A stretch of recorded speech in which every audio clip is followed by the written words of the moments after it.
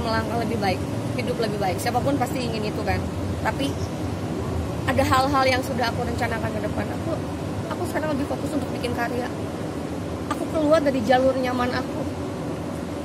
Aku sekarang belajar untuk bikin untuk masuk ke dunia perfilman. Belajar acting yang bagus. Bahkan kemarin aku baru selesai banget bikin short movie. Itu aku yang jadi eksekutif produser itu juga aku yang punya ide cerita dibantu sama teman-teman hebat yang lain aku sedikitnya terobati dengan itu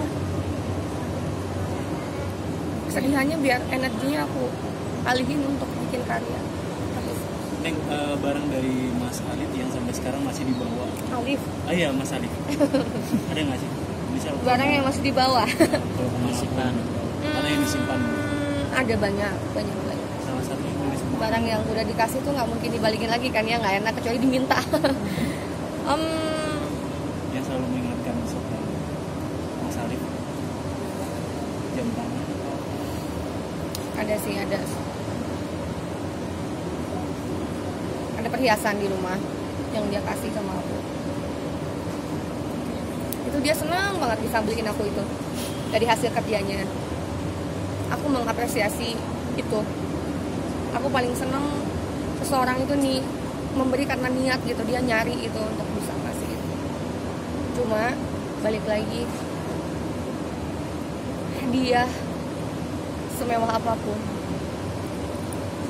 itu tidak akan ada harganya.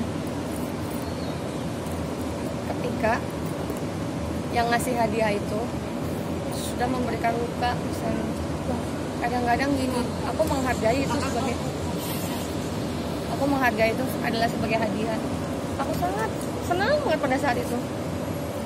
Tapi kok kayaknya nilainya berkurang gitu. Kalau dia tidak bisa menjaga seseorang yang dia kasih hadiah itu tidak bisa menjaga hatinya dia nggak tahu apa yang bikin hatinya terluka itu kayak sayang gitu. Maknanya jadi berkurang. Selama 9 tahun bisa disimpulkan memang Mas Alif eh, kurang peka terhadap. Le- lebih ke sifat mungkin ya. Ada perempuan yang selalu ingin diperhatikan. Ada juga mungkin wanita mandiri nih tapi mandiri sih boleh-boleh aja tapi kita butuh kepekaan laki-laki itu penting jangan sampai ketika dia tidak peka dia tidak tidak tahu sejauh mana ini istrinya udah bekerja sejauh mana ini istrinya sudah berjuang gitu. Peka itu penting banget sangat sangat penting. Neng sidang kapan lagi nih? tanggal 7 Tujuh datang. insya Allah. Itu agendanya apa? kan sidang Masih- kan di reschedule kan Ah, karena dianya sakit. Jadi sidang tanggal 7 ini mungkin masuknya sidang kedua. Atau mungkin apa aku nanti harus tanya ke kuasa hukum aku ini masuknya mediasi lagi atau seperti apa? Nuhun. Terima kasih sudah menonton video ini. Jangan lupa subscribe dan aktifkan lonceng notifikasi supaya kamu nggak ketinggalan video terbaru dari Grid.